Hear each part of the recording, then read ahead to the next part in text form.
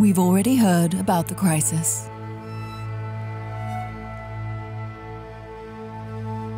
That the future is in our hands.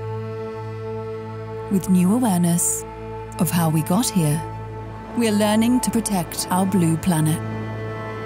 But there's more than meets the eye. We know plastics are a real danger to ocean health because they can be seen. Chemical pollutants are nearly invisible and equally, if not more, pervasive. Vital to modern life, we've yet to manage them well. The threat of ocean pollution is accelerating.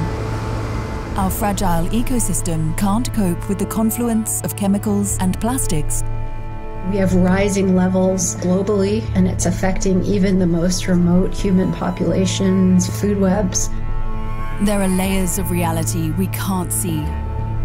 Chemical pollution and climate change are combining to create a more toxic marine environment. More dead zones are appearing. They're as bad as they sound.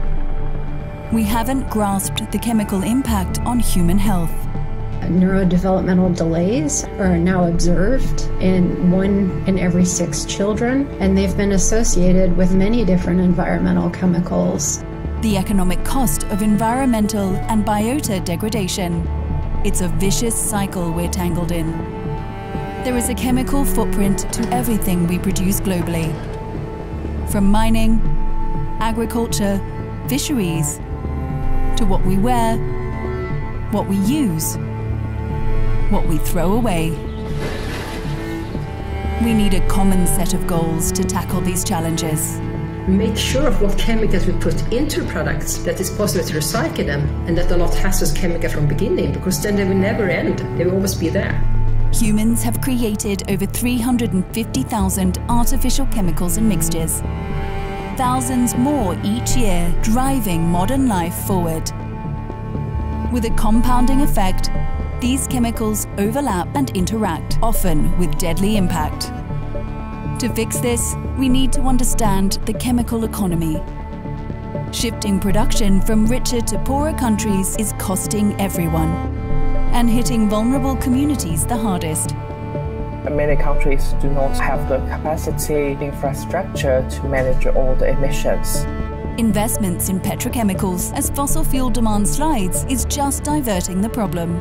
Once we cross the tipping point, then it's too late. We really need urgent action by all stakeholders. There are pathways to resolving ocean chemical pollution the chemicals industry won't change fast enough on its own. Chemical pollution is a missing piece. We have a focus on plastics, we have a focus on biodiversity, but all of this is linked. A healthy ocean is essential to all our lives.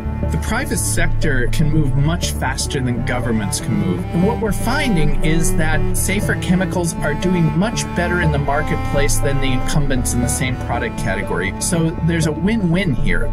More funding is needed to do thorough research, convincing governments to act with science backed evidence, knowing the costs of inaction to inspire innovation, showing investors economic opportunities, making greener business models necessary. We will need policies that help move us away from problem chemicals. We also need innovation policies that drive the future of green chemistry and sustainable technologies.